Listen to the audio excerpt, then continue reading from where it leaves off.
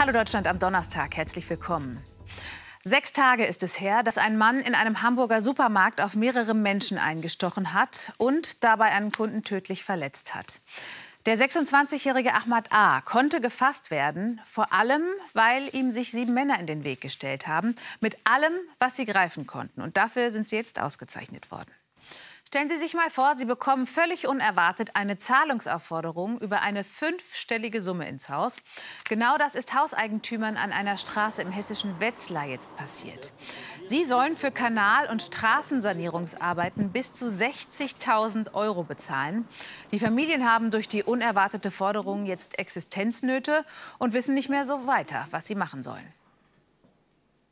Mittlerweile hat sich der Zustand des 21-Jährigen aber verbessert und er ist wieder entlassen worden.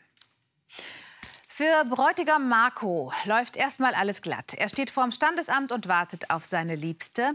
Aber Elisabeth kommt nicht. Oder sagen wir, sie kommt ein bisschen später, aber dafür in Begleitung eines fremden Mannes. Sie sitzt nämlich auf dem Rücksitz eines Streifenwagens. Ja, allerdings. Wem Mallorca zu weit oder zu voll ist, der fährt gerne ins niederländische Renesse. Denn Party machen wird auch da ganz groß geschrieben. Allerdings unterschätzen einige Deutsche die strengen Gesetze der Holländer. Zum Beispiel, wenn es ums Trinken in der Öffentlichkeit geht. Zur Verstärkung schickt die Krefelder Polizei regelmäßig Beamte über die Grenze, die bei Ärger oder Verständigungsproblemen helfen. Und das kommt gar nicht selten vor.